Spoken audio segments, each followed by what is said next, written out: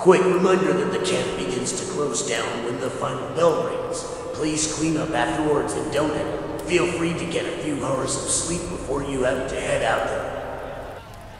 Thanks for taking my corner, with Bruno being out of the picture show. For now, trying not to worry about him, but it isn't helping. Not a problem. You are quite the investment. I assume you still have it on you right now. Just remember to pop it at the right moment. Do you and your friends have a suggestion when it'll be the right moment? I figure once she has you on the ropes for the mat and is tearing you apart, you'll know when to use it. Technically, there aren't any rules against stims in a fight anyway. How do I know it'll even work? I'm sure me being dead on the mat can be as profitable as me being the victor. Short-term profits are only part of the equation. Your victory will send a message about our long-term prospects. It, and mutual friends will continue to supply with stuff that Maxwell wouldn't exactly approve of. You'll be a vicious fighting machine for years to come. But, just to keep it clear, neither of us will have any long-term injuries and we are both walking away from this. Anything more is unacceptable regardless of what you can give me. As agreed upon already. Business is business but having two of the Vault's toughest fighters dead benefits nobody, at least right now. And lastly, if this doesn't work or doesn't work as requested, I won't be as forgiving as Maniac.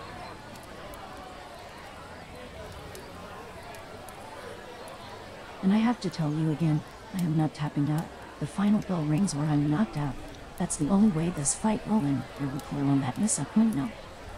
If she knocks you out in 90 seconds, don't come winning to me because the fight ended. I'll own her to beat your unconscious and defenseless body is not, I repeat not, part of the deal. If you are betting on this, you probably already have, so we'll be closing betting now. Reminder that 10% of all bets will help offset the costs of this little shindig.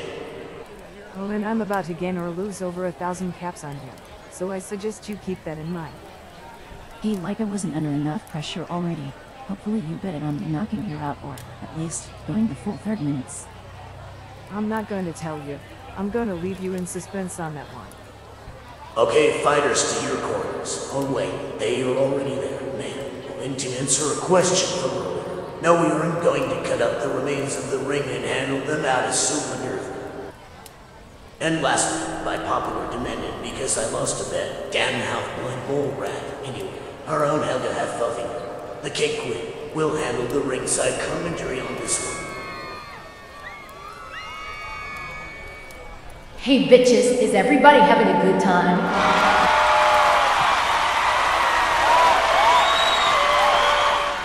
Tonight, our last fight. It has been a hell of a two days. The original Queen of Mean Belit Baudelaire in one corner. The jungle woman who is an animal in the streets and an animal in the sheets.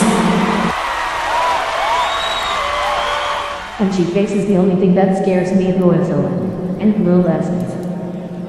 We call her the A-bomb because you never know when she'll explode, but it's sure to leave a crater when she does. She took on the system that told us what we could wear and who we could love. And from then on, if you decide to get fat, you drop into to kill any A-bomb. and now, let's get ready to rumble.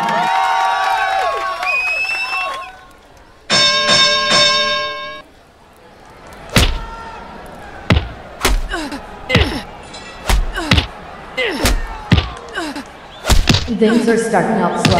Both of our bad asses are going for quick jabs and blocks.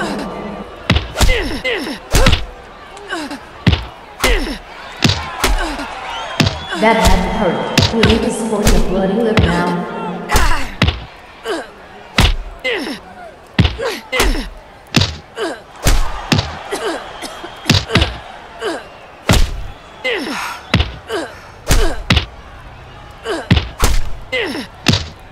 Neither of them is backing down.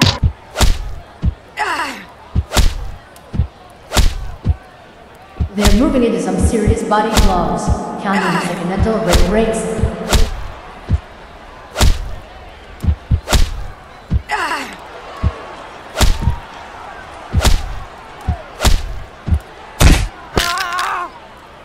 Holy shit, a second kick to the arm and I heard something crack on Billy.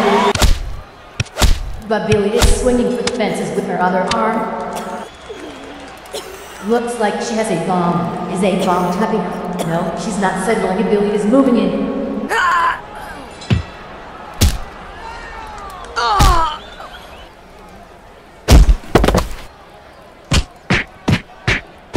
On the ground, each other.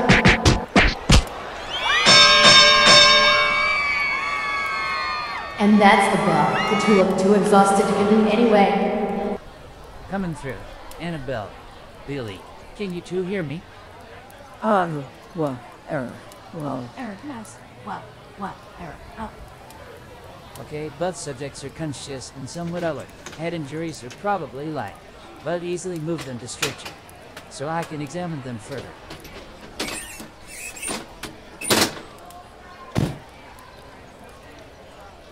And by Down's early light, that was our last fight. We want to be like to keep clean herself. Hey, hey, Willie, you awake or what? What? What? Helga, Darwin. I was just resting. What hap- happened? Uh, she went the full three, Nader tapped out, and it got a bit ahead tonight. So what are you up to now? You don't seem much in the mood to me. Has the spark gone out of the King Queen tonight? Don't want to feel the blues. They're coming on kinda strong. Want to hit up someday, me? I promise it's the good stuff. Got it from Matt. Far out, man. And Bruno said we could crash here at least until tomorrow morning. Perks of being the announcers, I guess. Oh, and I guess this can handle the rest of the announcements.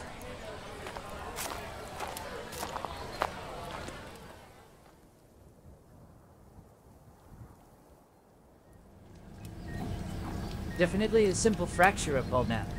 A mild concussion. Some tearing of the costal cartilage. A fracture of the brain. A stim pack for the pain. Just try and Billy. But nothing life-threatening. And you, Annabelle. A pretty nasty broken nose. I might have to drain the swelling over your eye there.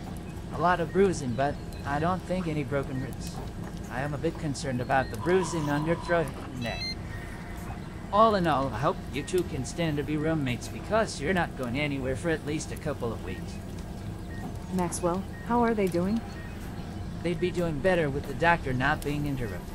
But in short, they'll, uh, I can allow you a moment, but we really need the space clear in case of an emergency. I have to make the last announcements anyway. But you two, damn both of you. I hope this settles something. Do I have both your words that this settled whatever? Oh, er, oh, yeah, yeah, yes, for now. Fine, Eric, whatever. Okay. If you two are still awakened about an hour, I'll be back. Somebody has to take charge anyway out there. You did good. Out, out, oh, out there. Bruno would be proud. Will be, oh, will be proud. Did, didn't, did, didn't do it for him, or you. Just, just one, one thing. Stop blaming you, yourself, for Edward, please. One day, I may, couldn't take it, could you? Don't give me that oh, but look, I knew about the time I'm not done. Figured I had, had a 50-50 shot of you taking it. Some, some things are more important than winning. That little girl had a right to her shot on me.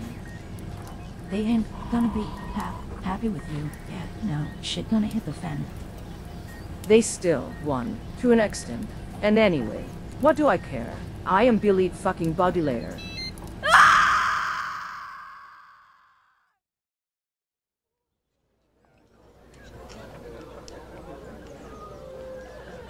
Coming through.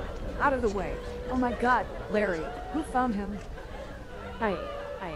I was going to take up, and the door was closed. Didn't think anybody was in there, and I just found him, slumped over. No pulse. No breathing.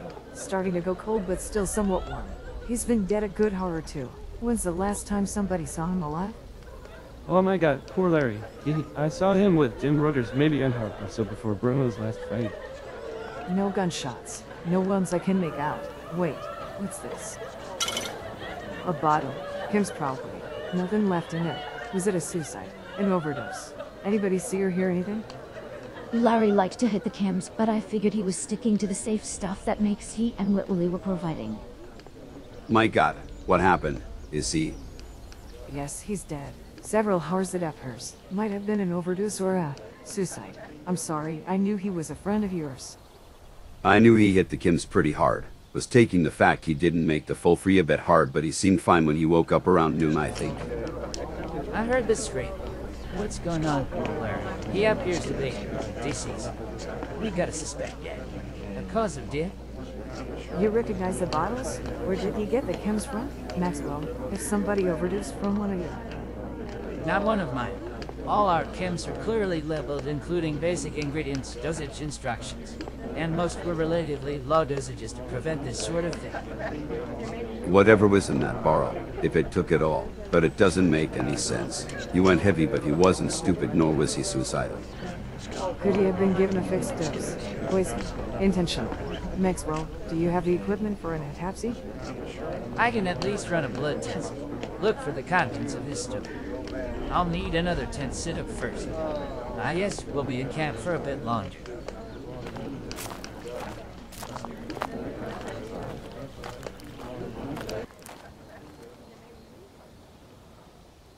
So, what's the word, boss? You want us to start rounding? I think somebody slipped him a hot dose, but I have no proof, and by the time Maxwell finishes his tests, they could be long gone. We need to figure out who might have already left camp, starting with the most likely suspects. Not everybody attended our little party. I can think of a few, such as Edgar. Nobody has seen hide nor hair of him in probably a month. I figured on Edgar showing up a long shot, but this isn't his MO. He barely touches chems much less knows how to fix a dose. Our suspector suspects is probably still in camp, and he has no reason to poison anybody here anyway. I could quietly inquire to our friends. Make sure nobody is going nowhere. Start searching. No, that would definitely start a panic and probably right into whoever's hands. And this is still treated as an accidental overdose or a suicide until Maxwell can give me solid proof otherwise. Just ask a few questions, take some notes, keep a mental list of who is acting, squirrely, figure out if anybody lost some serious caps on his fight, figure out a possible motive. Maniac, Jolly Jim, or one of their ilk.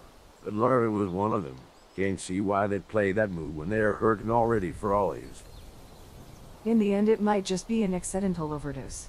I knew having chems here was a mistake, but officially I can't do anything about it. Supposed to take a hands-off approach to chems dealing and using. Back in the vault, the overseer would at least make sure somebody was held accountable. Unofficially, we could still do the same. They're standing close. Joe left hook to the body